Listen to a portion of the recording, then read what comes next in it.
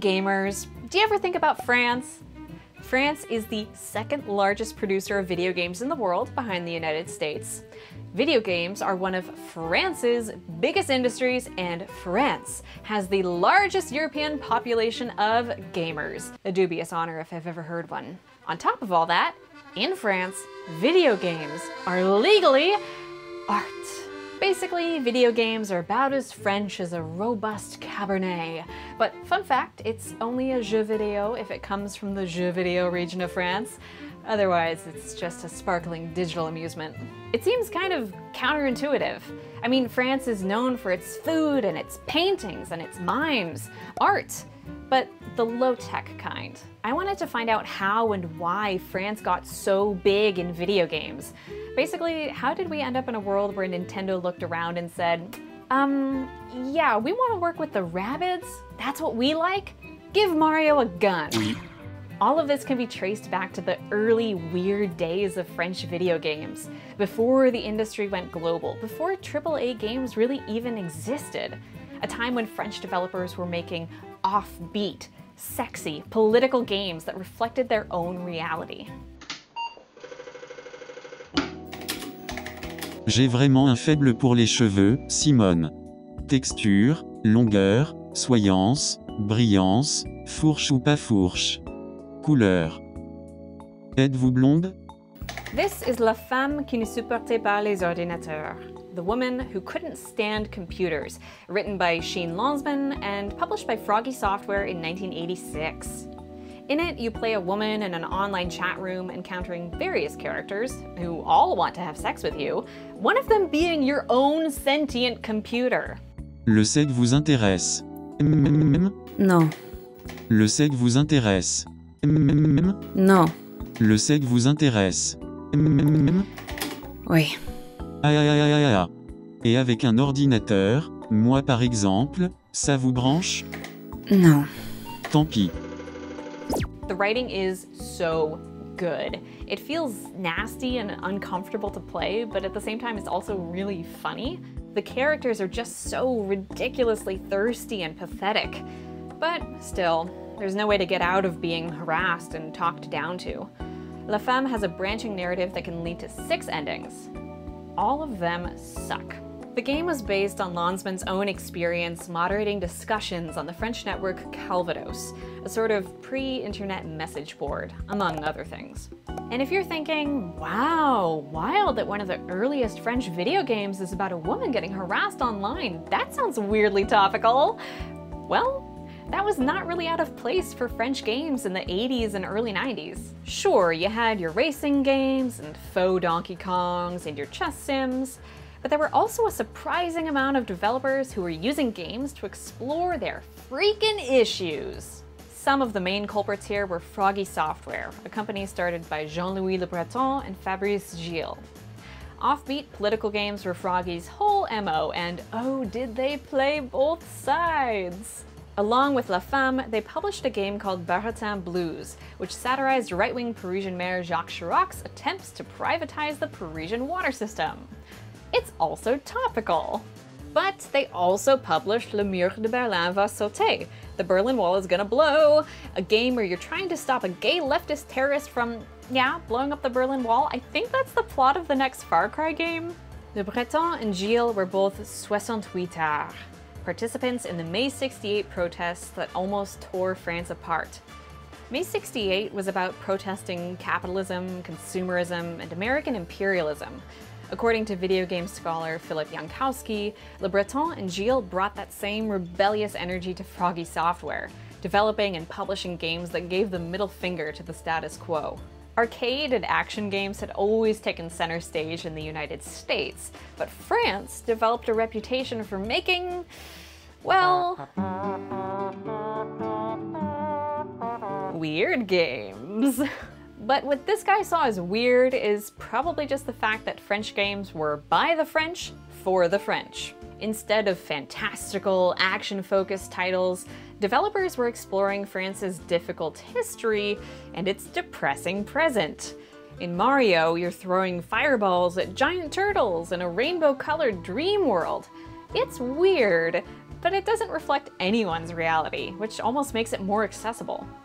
In French games, you're going to Le Tabac to buy a pack of Gauloises and having depression about what your father did in the war.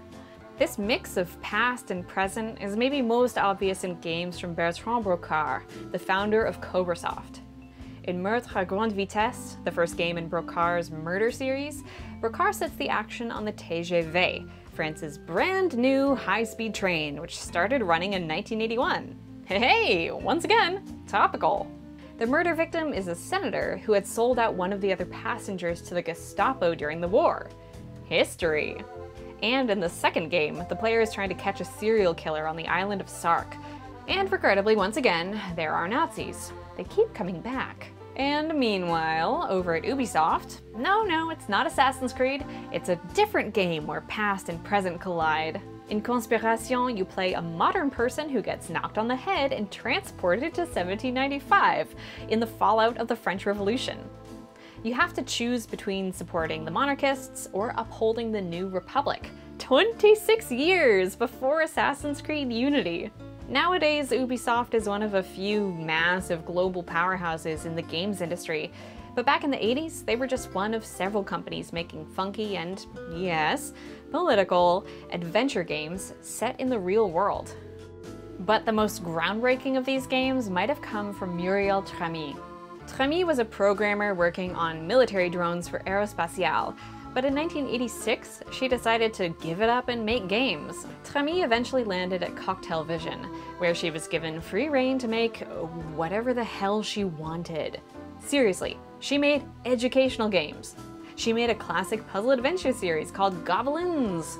She made erotica, just because she felt like it. But the two games she's perhaps best known for are Méwilo and Freedom. Méwilo is an adventure game set in Tramis's homeland of Martinique and co-written with Créolité author Patrick Chamoiseau.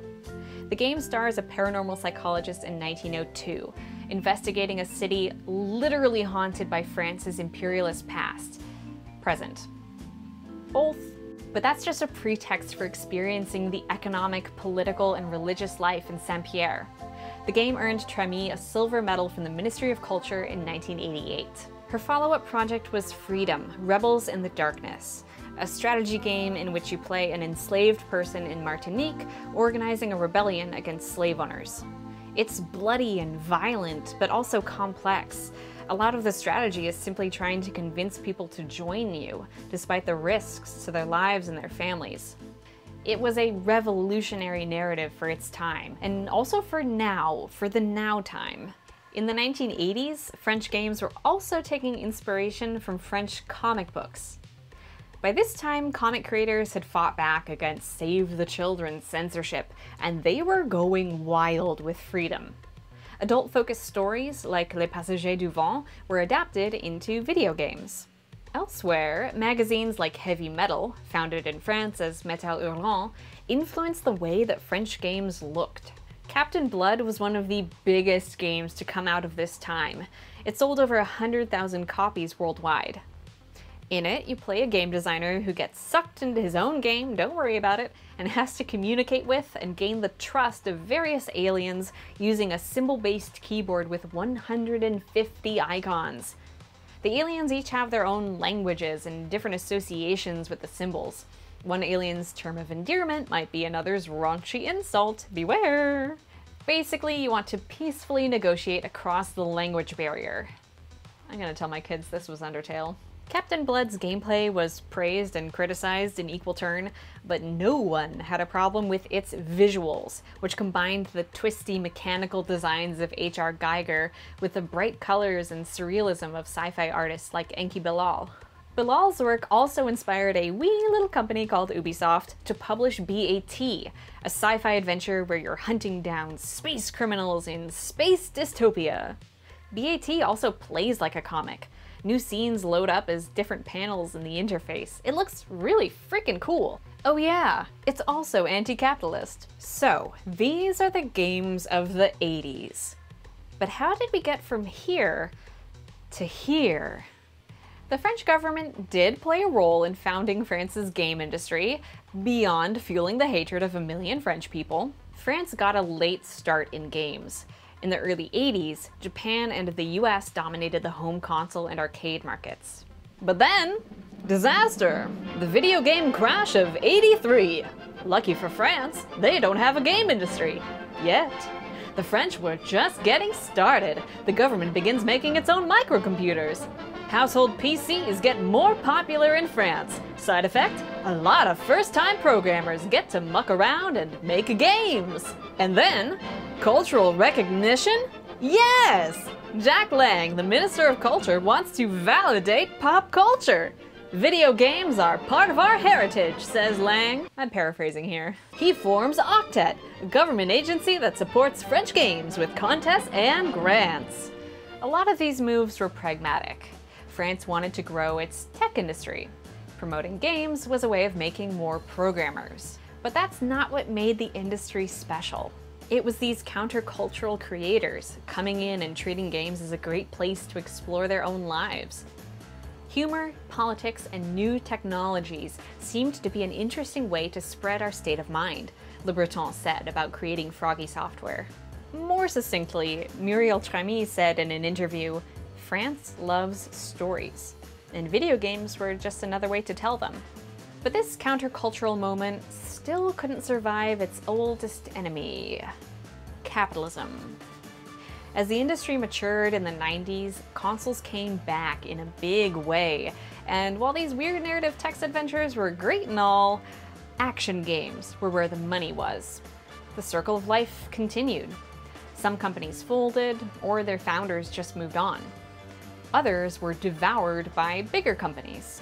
Coktel Vision, where Muriel Tramis did so much of her work, merged with Vivendi in 2003, and Tramis found that she just didn't like the new company culture. She had less creative freedom. So she went to found her own company and still makes 3D software today. Damn, madame! That little story is pretty indicative of the way games publishing as a whole has gone. Companies become larger, make games for a broader audience, and when you appeal to a broad audience, everything is diluted. In the case of French developers, and all developers, let's be real, broad eventually came to mean an Anglophone player base.